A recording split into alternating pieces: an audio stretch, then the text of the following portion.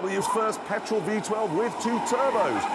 Oh, look, that is much more interesting there. He's getting very sideways. Yeah, now I should say the Stig is deeply saddened that Chas and Dave have split up. This is his, uh, his way of getting through the pain. God, that BMW is very sideways there. Now coming up to uh, Hammerhead, we're expecting understeer here from these two-ton barges. And yep, 7 Series is ploughing wide, more composed. I suspect because the traction control can't be fully switched off.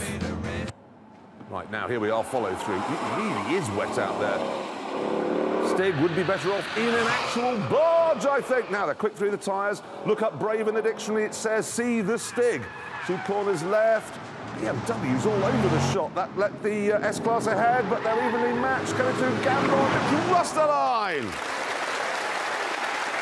You go here? No, it doesn't.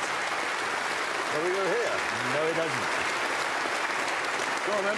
Right, the Mercedes S63 did it there in 132.1. The BMW did it in 131.2. Which Brilliant. So there we are. If you are a banker and you like to get anywhere in a big hurry, go for the BMW. Uh, consumer advice for you there. Now, tonight we're in Romania, looking for the best road in the world. We're driving an Aston Martin, a Ferrari and a Lamborghini, and so far we'd each decided that our car was the best. James had got lost, and we'd ended up by mistake in Bucharest.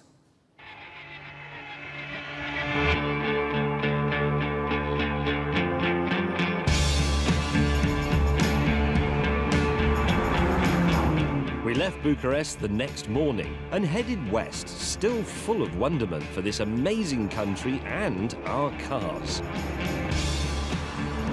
This car is actually filling me with a sort of primordial lust. It actually tingles down in my bowels. It's sinful. I cannot tell you how joyful it is to drive a V12 sports car with a proper manual gearbox manual gearbox, really in a GT car. You want that? It's about making your life easier, fast, but easier and more comfortable. If you're going to go GTing, Ferrari, surely. Then, disaster. Romania only has 143 miles of motorway, and by 11 a.m., we'd used every one of them. Ah, James, policemen. Many, many traditions and rituals surrounding policemen. Among